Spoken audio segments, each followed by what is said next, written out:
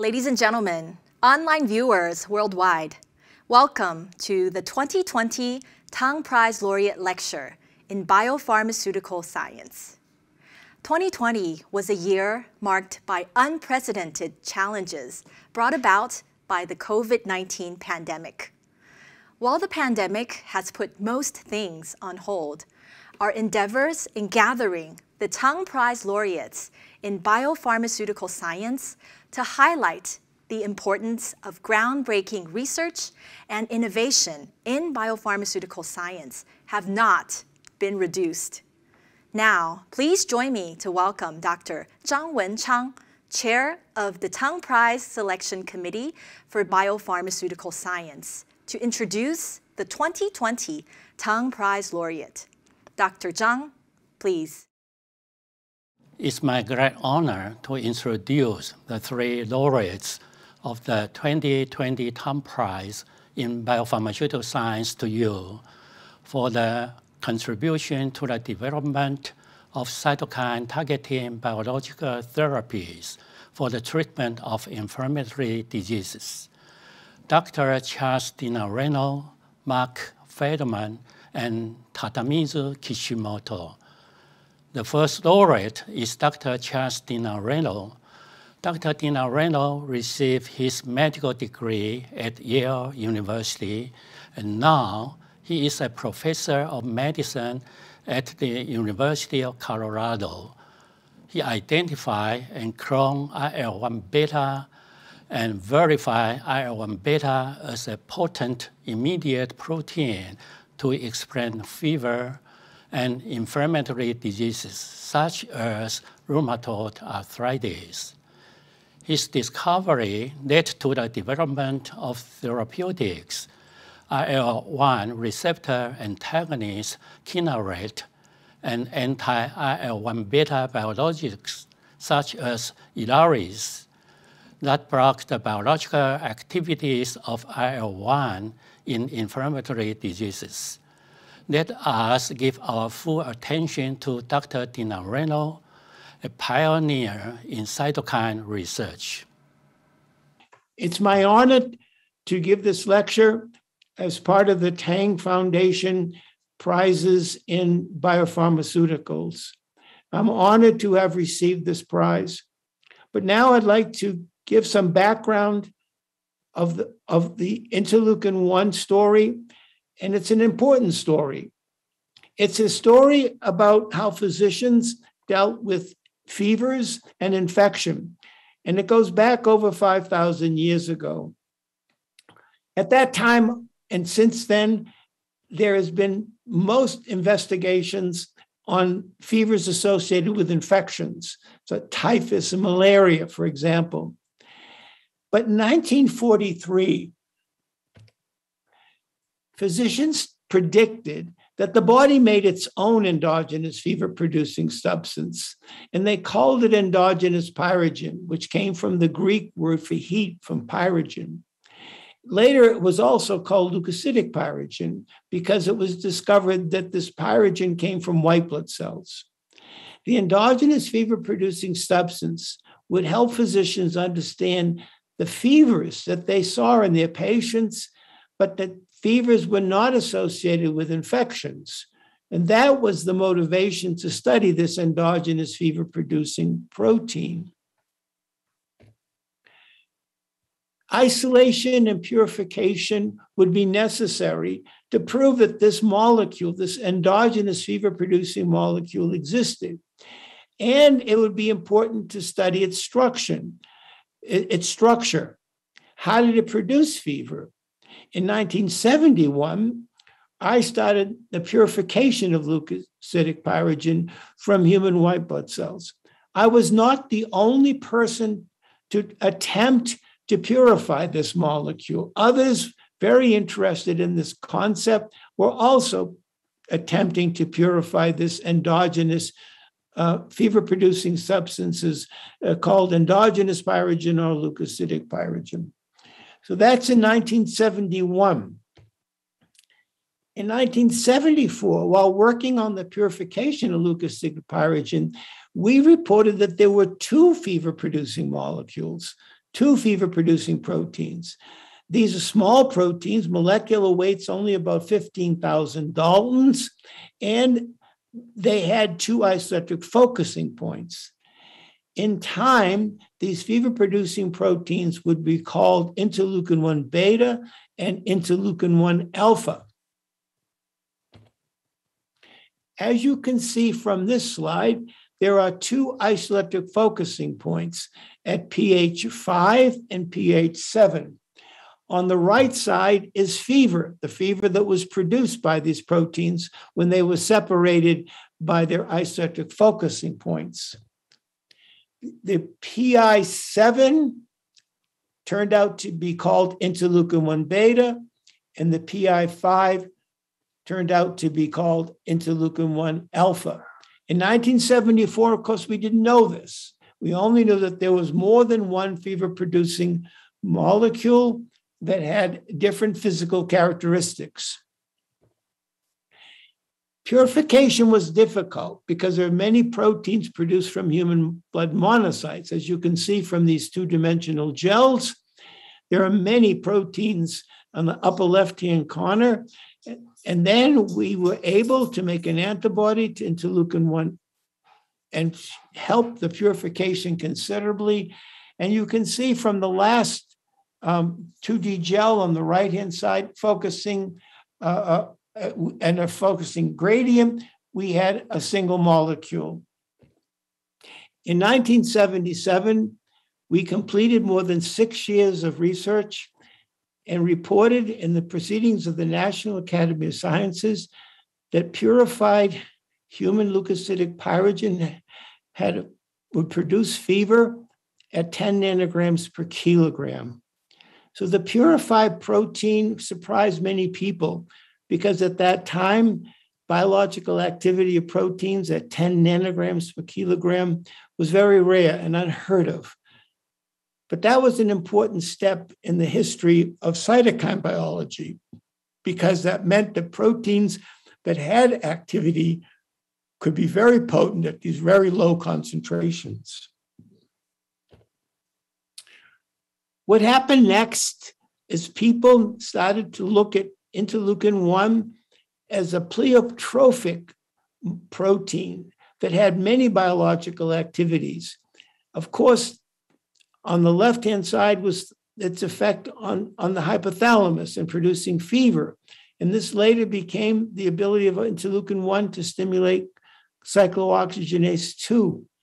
Its effect on neutrophils would later be would later result in the discovery of the chemokines, particularly interleukin 8. In the liver, it was discovered that IL 1 induced IL 6, and interleukin 6 was the reason that acute phase proteins increased in many diseases. And then people looked at the effect of IL 1 on T cells and B cells, and this became an important aspect of the biology of cytokines that it affected the immune system and cells of the immune system. Many of the stimulants of IL 1 would later be called toll like receptors, and they would be recognized for their importance in, in all the toll receptors, particularly uh, toll 2 and toll 4. From 1985 to 1990, the confirmation and expansion of multibiological activities were confirmed with recombinant dial ones, as shown on this slide. What it really shows is the incredible multiple biological activities of a single protein. And other cytokines also were shown to have multiple biological activities. So during this time, cytokine biology rapidly expanded with other cytokines and other biological activities. The recombinant IL 1 was injected into humans. And you can see from this slide, it produced fever at 1 to 10 nanograms per kilogram, exactly that had been predicted from the biological activity of the molecule from monocytes. In addition, to fever. that humans develop myalgias and joint pain, fatigue, neutrophilia, high levels of ACTH, GM-CSF, GCSF, IL-6, and at higher doses, not really that high, but just higher than 10 nanograms per kilogram, hypotension developed and hemodynamic shock was observed in patients who received 300 nanograms per kilogram. But here's an important question why were people injecting such an inflammatory molecule into healthy humans or people with, with some diseases? And the reason was at that time, cytokine biology was very exciting, and people wanted to see what it did to the immune system, to other aspects of, of human physiology. But soon after these early experiments in humans, particularly in patients with cancer, the idea of injecting interleukin 1 or using interleukin 1 as a therapeutic was dropped. And the history of cytokines being used as, as, as, as, a, as a treatment changed dramatically, and the focus was now on inhibiting cytokines such as IL 1, such as TNF, such as IL 6. And that's how cytokine biology changed early in, in the history uh, of, of, of its effects on, on biological systems. So, how does interleukin 1 induce inflammation? Very fundamental aspect of the inflammatory process is that IL 1 causes a very large number of pro inflammatory secondary mediators. There are receptors for IL 1 called interleukin 1 receptor 1 on many cells, most cells, and a secondary or co receptor called interleukin receptor 3 IL 1 alpha or beta will bind to the type 1 receptor first. And then this binding results, excuse me, in the um, dimerization with the receptor 3. And that dimerization results in the toll like receptor areas in the cytoplasmic domains approximating each other. And that results in activation of the cytokine part of the molecule, the cytosolic part of the molecule, and the recruitment of other kinases such as MYD88. And the result is you have a very strong pro inflammatory sig- signal. Here is what actually happens once the interleukin 1 receptor binds to the uh, uh, cytokine and you initiate the strong inflammatory signal. In the nucleus, we see genes that are not expressed in, in health, but genes that are expressed in disease.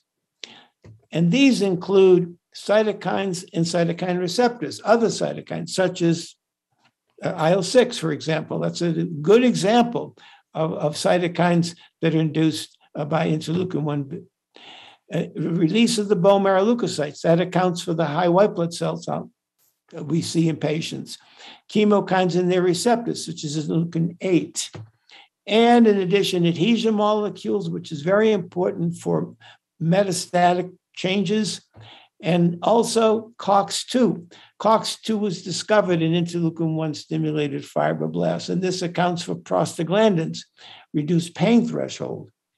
And then also nitric oxide synthase, another gene, inducible nitric oxide, another gene that's associated with disease and not health.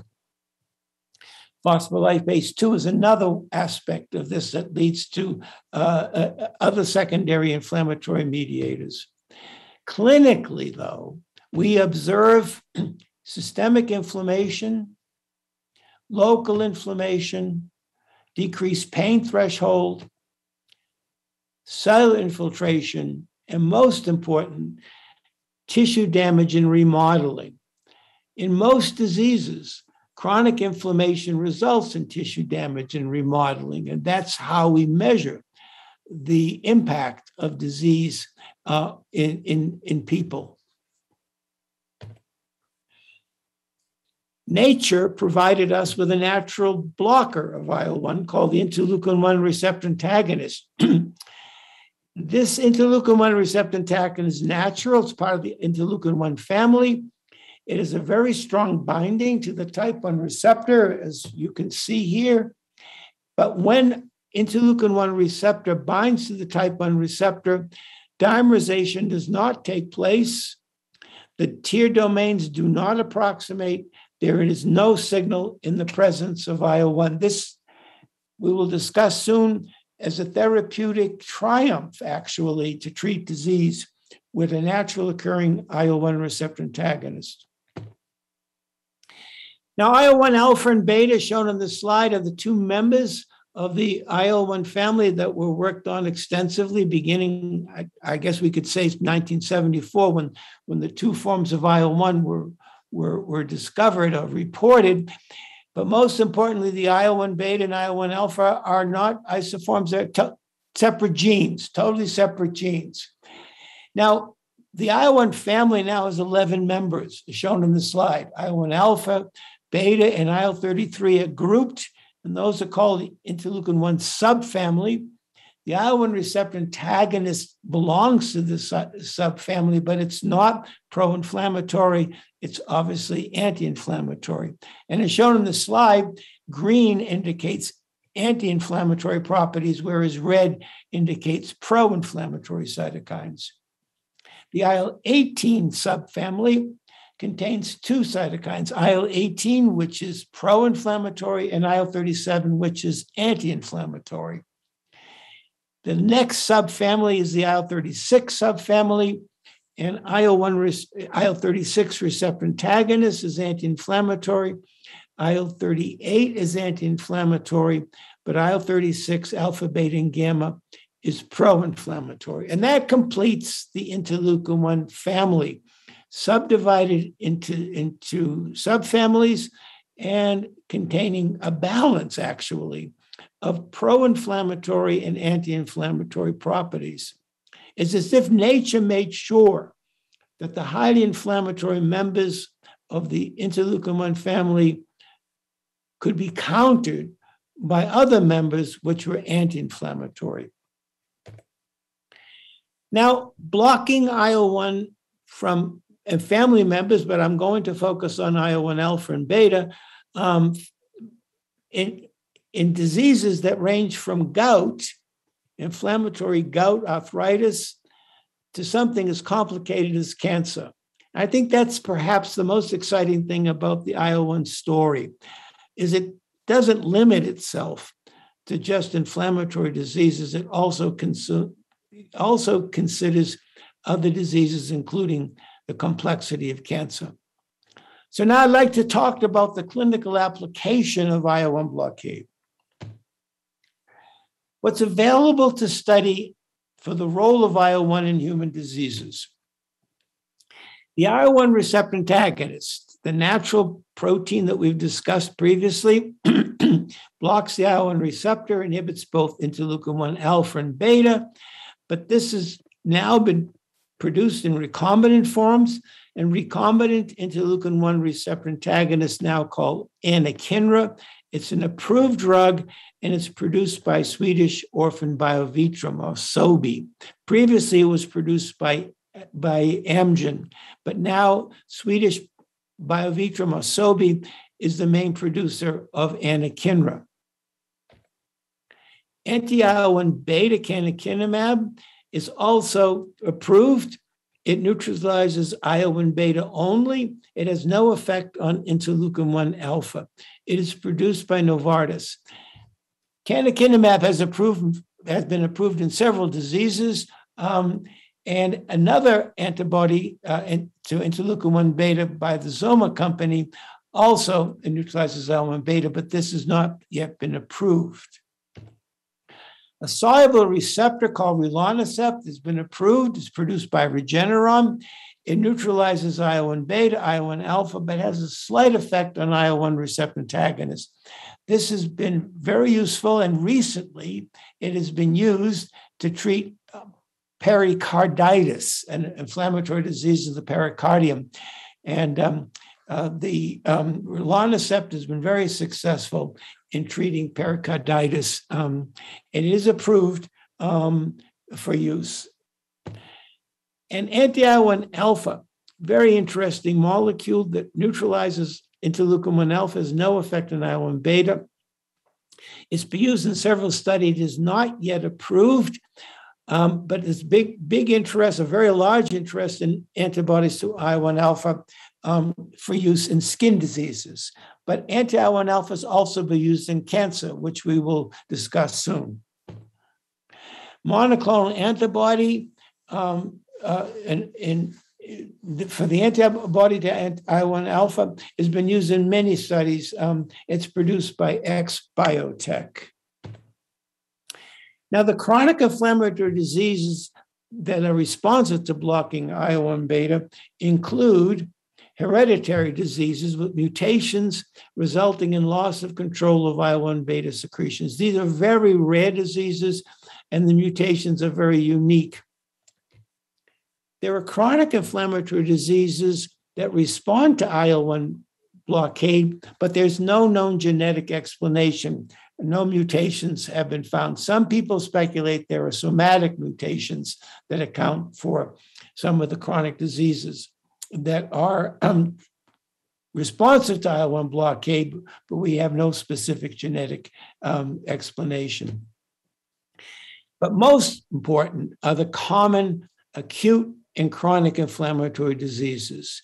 And here is where we really understand and appreciate the importance of blocking IL 1.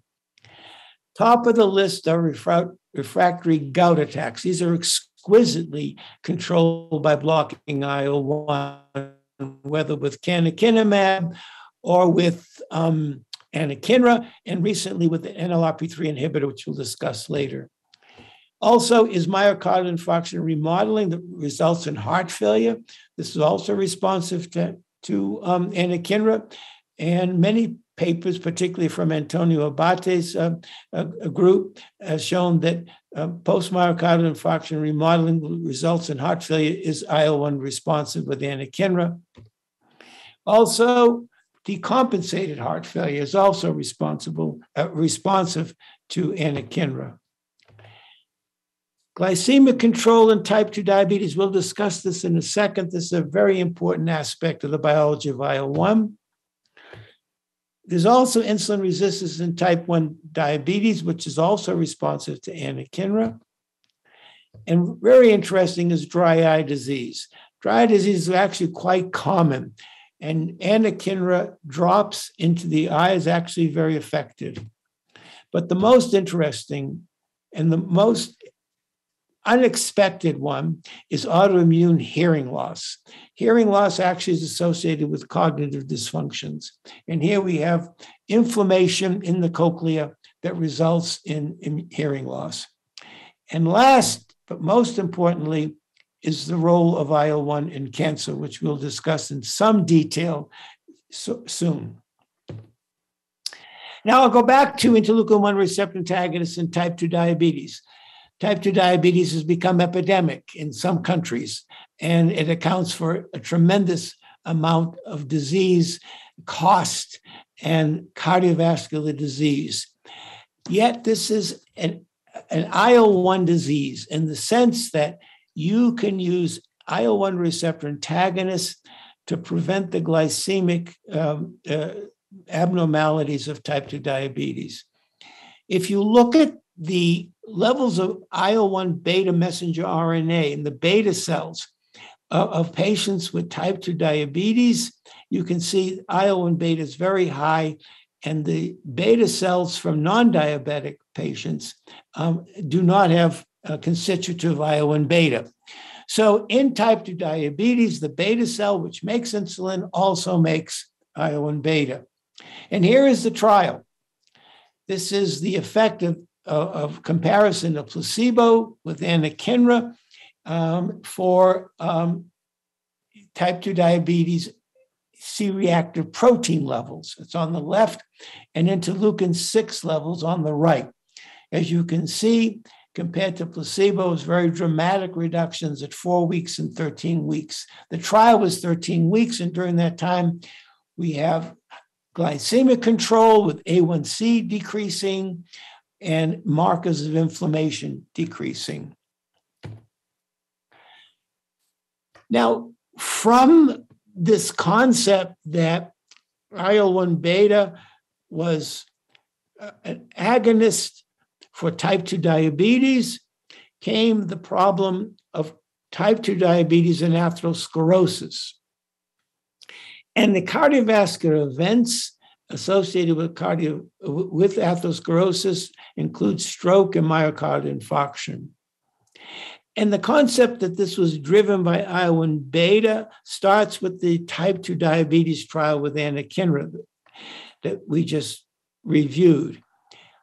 Now, canakinumab targets specifically IL-1 beta. It's neutralizing monoclonal antibody.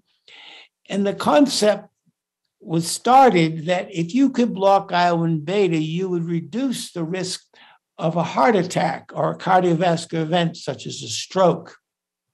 And so the trial was designed um, by Peter Libby and Paul Ridker, together with colleagues from, from Novartis, in a very large, aggressive study, worldwide study um, of over 10,000 subjects. The original trial was actually 17,000 subjects. And these were patients at high risk for a cardiovascular event having had a previous heart attack or stroke. And the, they were selected based upon an elevated CRP that was not responsive to standard therapies such as statins. The trial was called CANTOS and it was a milestone in cytokine biology. This is the paper title from the New England Journal of Medicine Anti-Inflammatory, Anti-inflammatory therapy with canakinumab for atherosclerotic diseases. And it was treatment for four years. You can see the treatment was administration, a parenteral administration of four doses each year over the course of four years. As you can see, the C-reactive protein, which is a measure of, of inflammation, particularly in the heart, plummets very fast uh, within three months um, and continued to be suppressed for the entire uh, trial. And the doses of this randomized placebo-controlled trial was 50, 150, and 300 milligrams of canakinumab uh, four times a year compared to placebo four times a year. And the trial met its primary goals. And here's an example of, of the primary endpoint, the incidence of myocardial infarctions. Um, for all doses, highly statistically significant. Uh, secondary endpoints and the incidence of myocardial infarction, stroke, or death from any cause.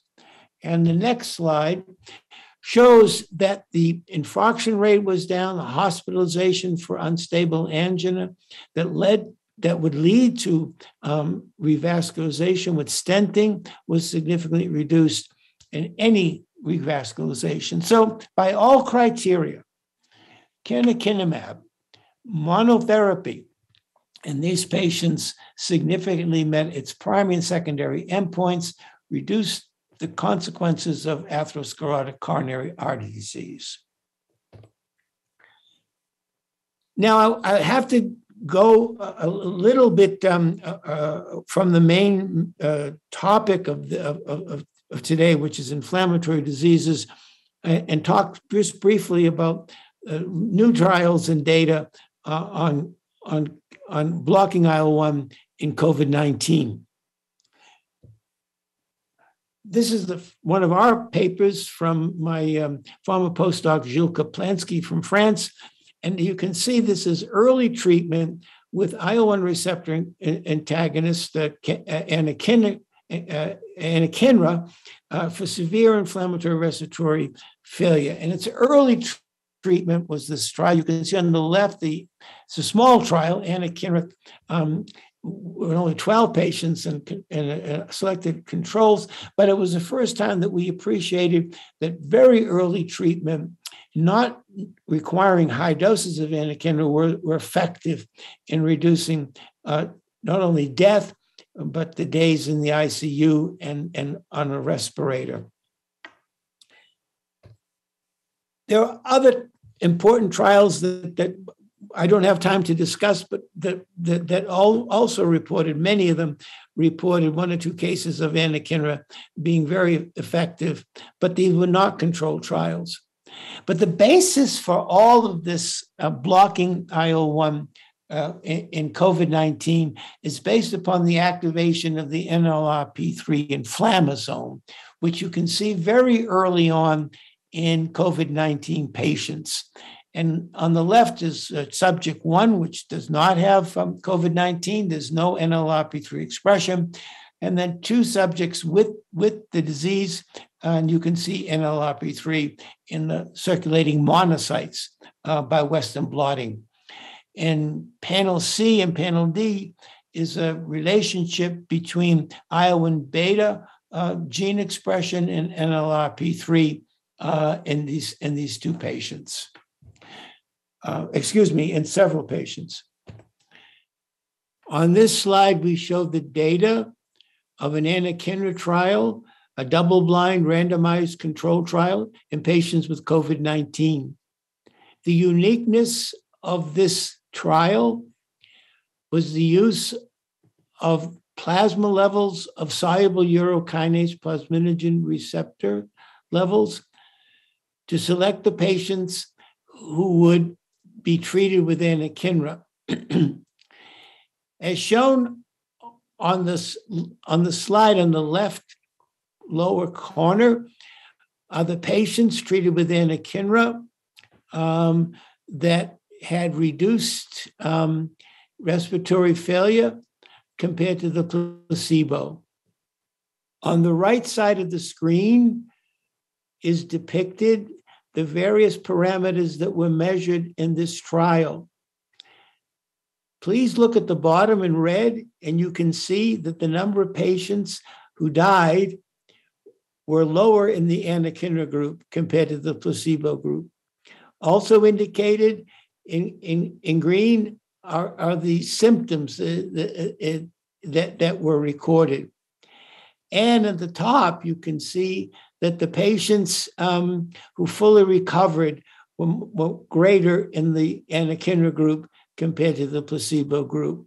So this is a very important trial to use a predictive plasma level of soluble urokinase plasminogen activator inhibitor. Now, I want to end with blocking IL 1 beta in cancer. We'll also discuss IL 1 alpha. This is perhaps a new frontier for IL 1. The important paper came from the canakinumab study, CANTOS, for atherosclerosis. Although not designed as a cancer trial, the data were very compelling.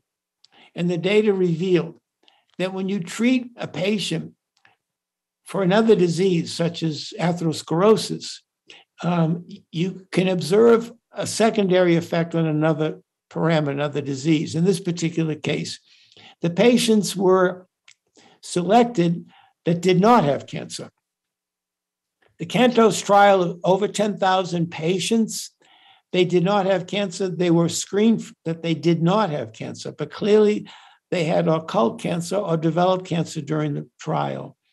Many of these patients were smokers. That's why they had atherosclerosis. And these are the patients that actually had a higher risk of developing cancer. The, the great surprise was it was highly effective. And I want to show you how effective this was. This is the CANTOS trial data with placebo and the three doses of canakinumab. And you can see a 51 reduction in death from any cancer. Now, important in any of these trials um, that are um, for another disease, and then in the course of the trial, a patient develops another disease, in that particular case, cancer. The therapy is usually stopped. So in canakinumab trial for atherosclerosis, when the patients were discovered to have lung cancer, they were dropped from the trial. They received no more canakinumab. They were out of the trial and they went to an oncologist to be treated for their cancer.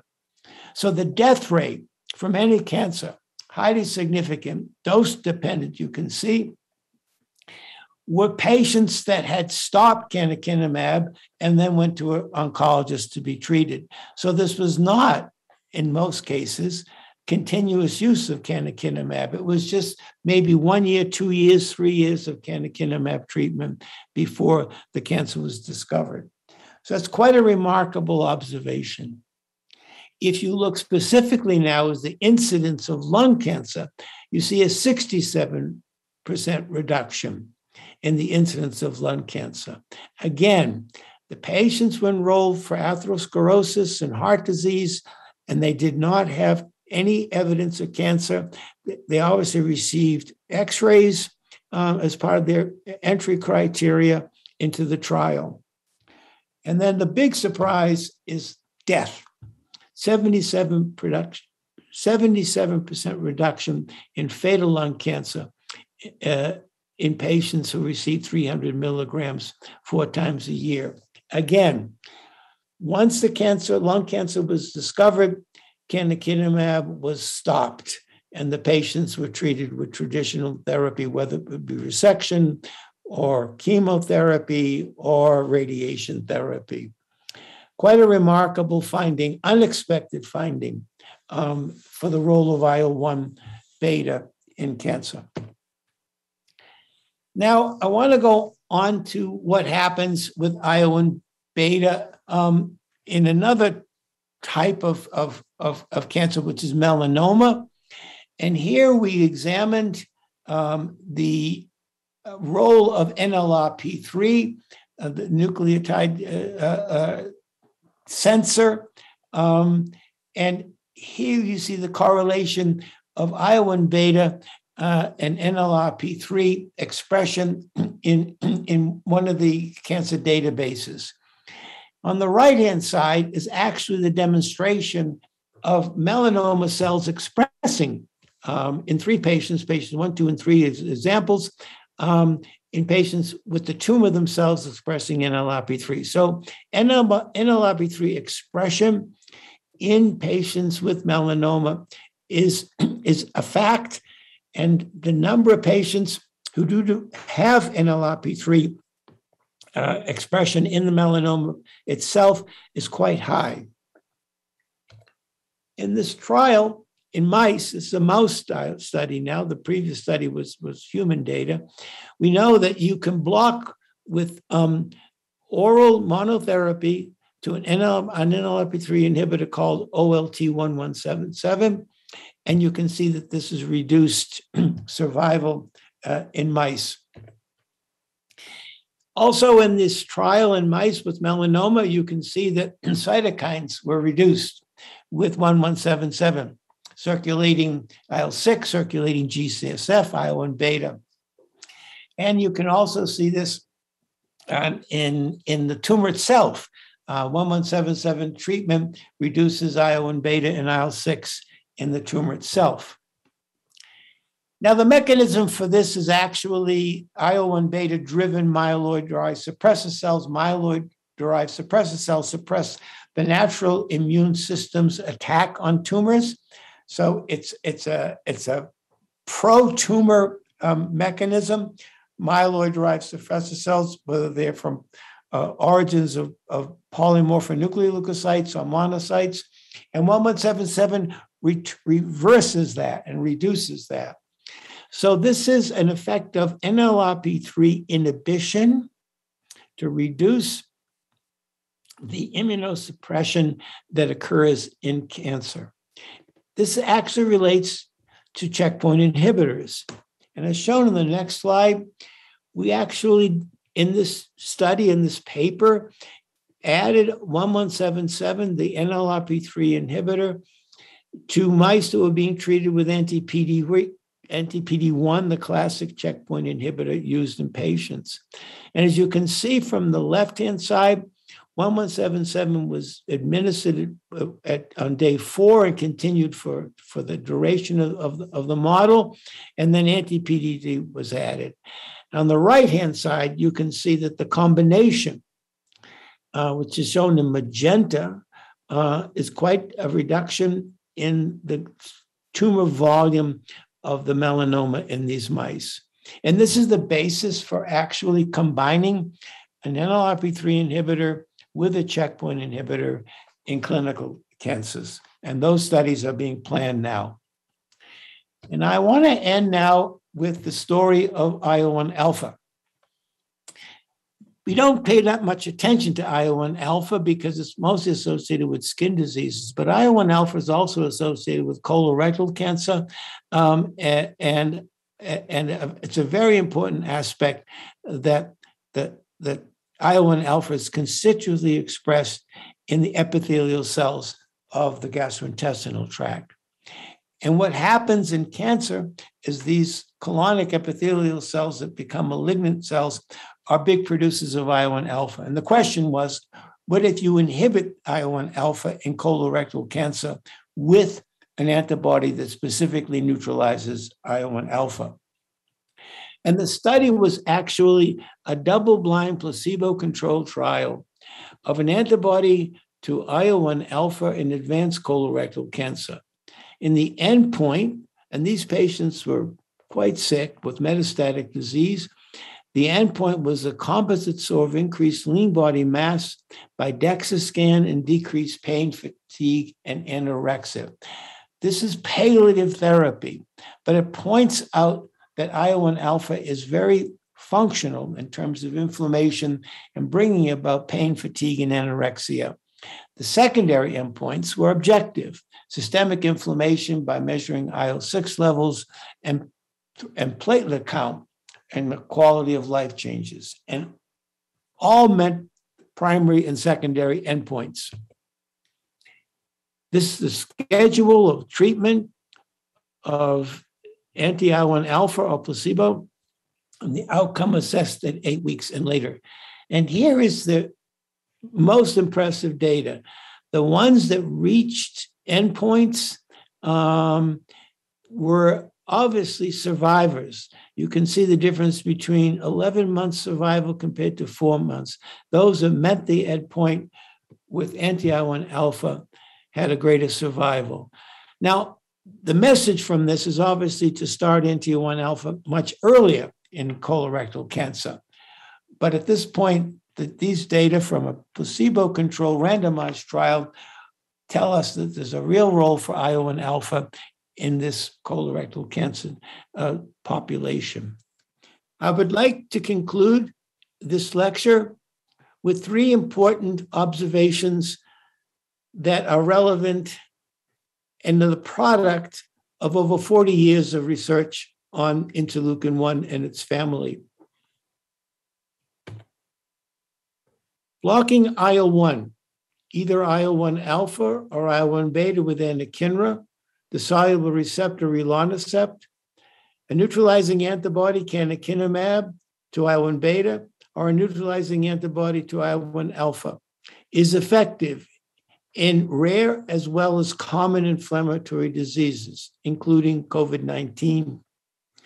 We also conclude that blocking IL 1, either IL 1 alpha or beta, in cancer is a new frontier in biology, and several trials are underway. And finally, we conclude that although parenteral therapy with anti-IL-1 beta is effective in inflammatory diseases, as, as well as in patients with cancer, orally active and safe specific inhibitors of the NLRP3 inflammasome can be as effective as parenteral therapy with IL-1 beta. Having an orally effective and safe pill to treat IL-1 beta mediated diseases is truly an advance that many of us had never appreciated.